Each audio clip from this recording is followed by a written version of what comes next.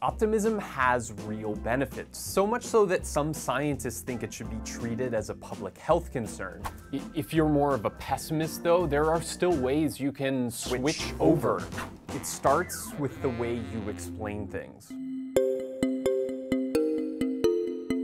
Volvo believes that to design cars for the future, they must first understand the people who will drive them. So they asked us to help them with an experiment, the choice.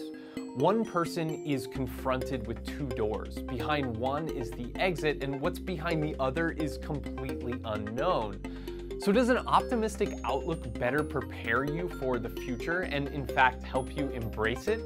In many ways, the science of optimism backs that up. Research shows that optimists not only find jobs faster, they're promoted sooner and 40% more likely to have their loans approved. And it doesn't just help your bottom line, it's better for your life. In a recent study of 70,000 women, researchers found that those who were more optimistic had a lower risk of dying from heart disease and much lower risk of dying from infection. And with all that good health and approved loans, it's perhaps no surprise that optimists are less likely to suffer from anxiety, stress, and depression. There is a genetic component to it. The oxytocin receptor gene, the hormone that makes you want to cuddle, has been found to be correlated to optimism and self esteem. But there's also a theory that you can choose how optimistic you are. And given what you know so far, sounds like an easy choice, right?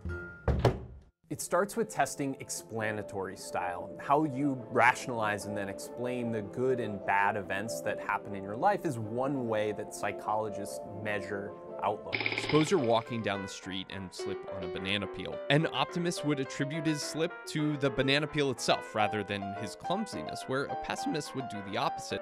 What's more, an optimist would consider this bad luck as temporary, whereas the pessimist believes their clumsiness to be permanent. Finally, an optimist thinks the slip and fall is specific to only that time and place and doesn't think it would happen again, whereas the pessimist is certain he'll continue falling victim to the banana peel. Recognizing and then changing your own explanatory style is, according to some experts, a key way you can actually boost optimism. When you find yourself facing some adverse event, you can actually ID and then dispute your inner voice. Luckily, just because you've been a pessimist in the past doesn't mean you can't be an optimist in the future. Take five minutes of your day and write down all the best case scenarios of your personal and professional life, and then imagine them coming true. In two weeks, you should start feeling better about embracing your future. So, while it's important to note that being a pessimist is okay too, there are real benefits to optimism.